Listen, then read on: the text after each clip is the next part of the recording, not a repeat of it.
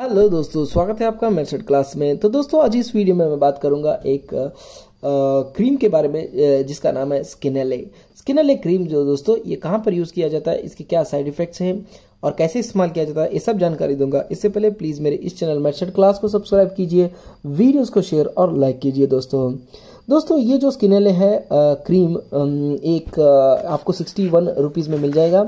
और ये जो इसको बनाया है चरक फार्मास्यूटिकल कंपनी ने, यानी चरक फार्मा प्राइवेट लिमिटेड ने, और ये आ जाता है आपको ट्वेंटी ग्राम्स के पैक में।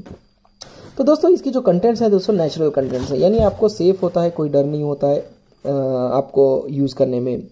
ये यूज़ किया जाता है दोस्तों कंडीशंस में आपके मुहासे जो होते हैं वहाँ पर यूज़ किया जाता है और ब्लैक हेड्स जिसे कहा जाता है मेडिकली एक्ने वलगैरिस तो दोस्तों वहाँ पर ये बहुत अच्छा इस्तेमाल होता है। आ, दोस्तों यहाँ पर देख सकते हो इतने सारे कंटेंट्स लिखे हुए हैं। आपको आप चाहे तो पढ़ सकते हो। आ, लेकिन मैं बताऊँगा आपको ये यूज़ कैसा करना है। आपको दोस्तों फेस अच्छे से वॉश करनी होती है। ओके, अच्छे से वॉश करके थोड़ा सा लूक वार्म वाटर से वॉश करना होता है और यानी थोड़ा सा गर्म पानी और सोप माइल्ड जो भी सोप हो, आप जो पहले यूज़ करते हो वही सोप यूज़ कीजिए और मैं चाहता हूँ कि वो सोप यूज़ कीजिए जहाँ पर प्रिजर्वेटिव्स कम हो और ऑयल यानी पीएच जो होता है वो स्किन के बराबर हो। यानी न्यूट्रल पीएच होना चाहिए। सेवन पीएच वाला सोप जो होता है वो बहुत अच्छा होता है स्किन के लिए आपको।